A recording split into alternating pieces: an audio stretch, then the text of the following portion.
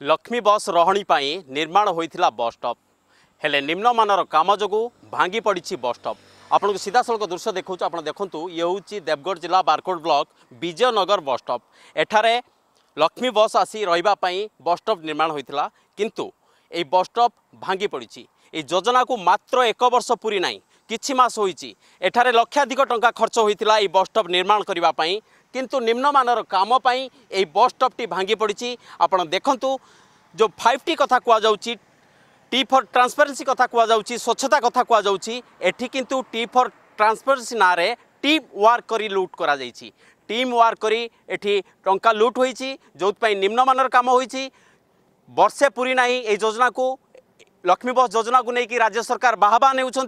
কিন্তু এই লক্ষ্মীপুর সরহণী পাই নির্মাণ হয়েছে বস স্টপ ভাঙ্গি পড়ছে আপনার দেখুন ইয়ে হচ্ছে দুর্নীতির সবুঠার বড় উদাহরণ যে কেউভাবে ভাবে বস স্টপটি নিম্নমানর কাম যোগ ভাঙ্গি পড়ছে স্বচ্ছতা কথা কৌথা রাজ্য সরকার এই স্বচ্ছতার ইয়ে হচ্ছে দুর্নীতির সবুঠার বড় উদাহরণ যে নিম্নমানর কাম টিম ওয়ার্ক করে লুট